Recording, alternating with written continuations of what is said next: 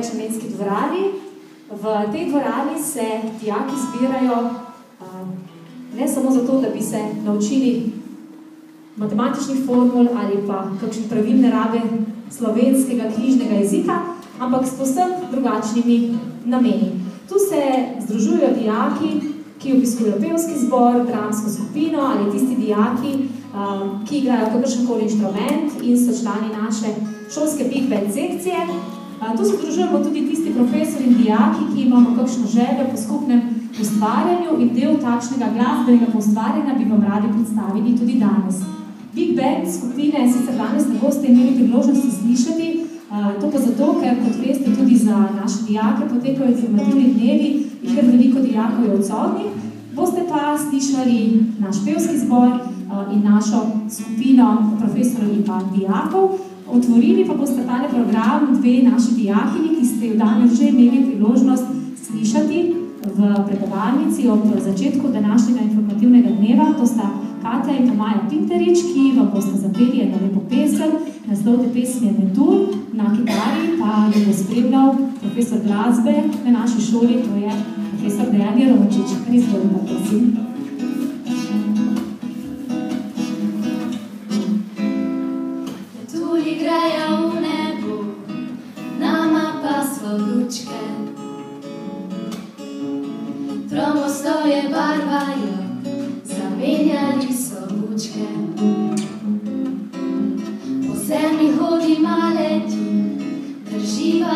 Za roke.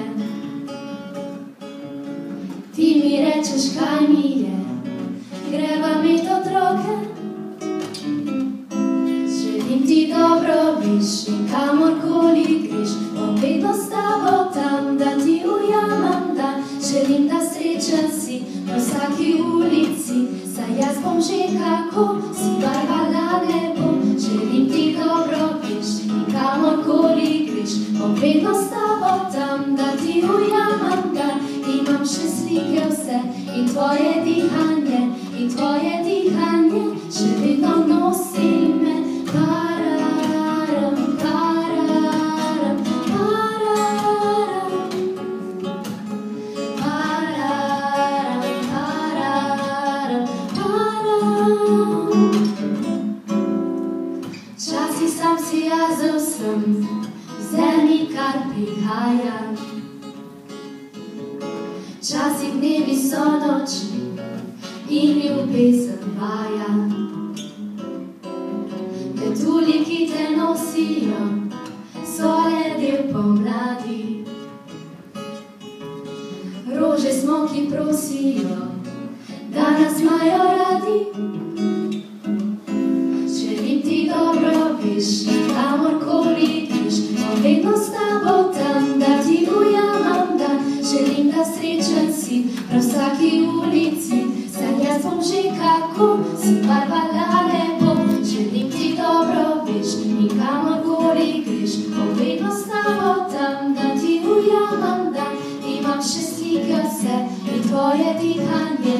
Twoje dýchanie, že chvíľou nosíme pararam, pararam, pararam,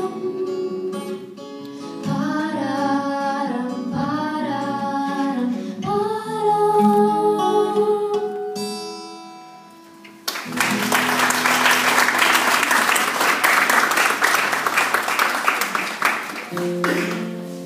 Para gritar. Se bo zdaj na odru pridružili še ostali pevci, ki tvorijo oziroma sestavljajo naš mali pevski zbor. To so večinoma pevke, pa boste videli, da niso samo pevke, imajo tudi dva fanta.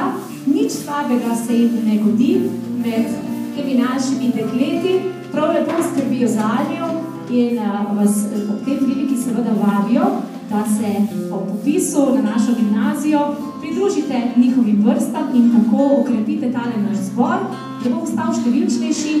Med njimi bo gotovo veliko lepih izkušenj, boste nabrali veliko lepih izkušenj, doživeli marsikaj lepega in seveda vabljeni med njihove vrste.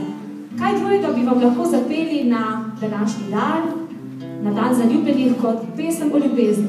Can't help falling in love so izbrali za današnji nastop, pa jim prisluhnimo. Hvala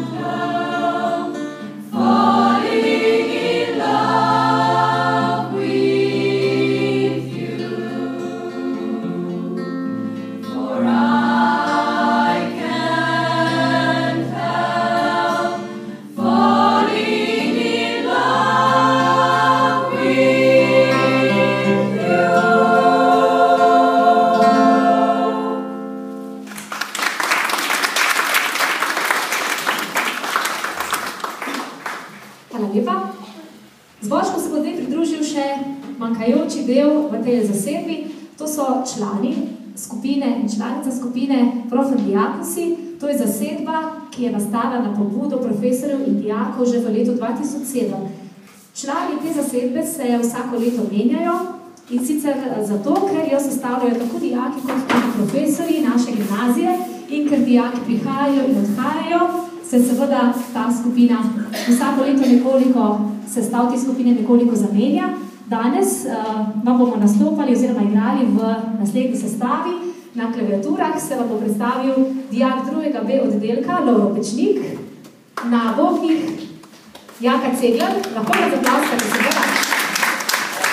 Na bokih Jaka Cegler, dijak tretjega A oddelka, na bas kitari profesor Dejan Rončič, Na sol kitari um, najboljši kitarist med našimi matematiki, to je profesor Gregor Pič. Uh, kot vokalistka se nam bo predstavila profesorica filozofije, um, učencem, devetošolcem, morda bolj poznana kot profesorica angliškega jezika. Če prihajate morda iz tiste osnovne šole, kjer ona poučuje angliščino, to je profesorica Nina Iskra. Ja, z mano pa bo še pela profesorica kemije Mateja uh, Strnadzorec. Tako, z nami, z nami pa bodo seveda pregledali tudi člani našega pevskega zbora. Namreč uh, letos smo prišli na idejo, da bi zaigrali in zapeli skupaj z zborom, tako da se bomo prvič predstavili tudi v takšni zasedbi. Zapeli pa vam bomo še eno, ki poje v ljubezni, pesem legendarne skupine Queen, Somebody to Love, bo tole, kar so vam pripravili za danes.